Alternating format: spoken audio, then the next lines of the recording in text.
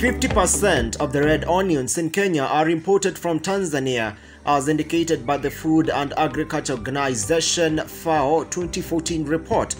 Kenyan farmers have been doing their best to address the demand and close the gap, but still there is more supply to be achieved. This makes the red bulb onion a very attractive commercial investment for the Kenyan market at the moment, since local production is not enough.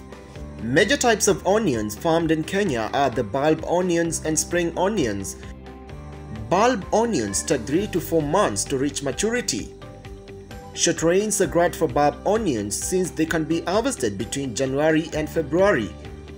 Local farmers are able to benefit during this time period since there is low supply of onions from Tanzania at this time of the year. After the long rains of March, the price of these onions icon farmers who harvest after this period make good profit margins. Spring onions are very easy to plant. You can even plant them at your kitchen garden. They are commonly used in vegetable salads or seasoning in soups. Of the two types, bulb onions are more popular than the spring ones due to their long shelf life and sweet taste. There are two different varieties of bulb onions in the market. There is a small, thin and firmly layered onion that has a strong pungent smell from Tanzania. The second one is the big loosely held variety that is grown locally in Kenya.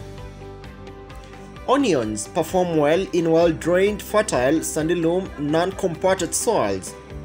Onion farming is worthy of venture since it's possible to grow onions throughout the year via irrigation.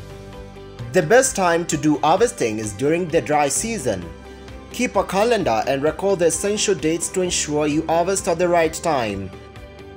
Bulb onions are ready for harvesting once they form a shiny membranous cover around the bulbs and twirl the foliage withers. Spring onions are ready for harvesting when they are 15 centimeters tall and 1.5 centimeters thick. Harvesting is done by pulling the bulbs and then chopping off the leaves. You then dry the bulbs in the sun before storing the produce. In the current market price, a kilo of the red bulb onion is going for 50 Kenyan shillings, while a big piece of the red onion is going for 10 shillings, while a small one is going for 5 Kenyan shillings.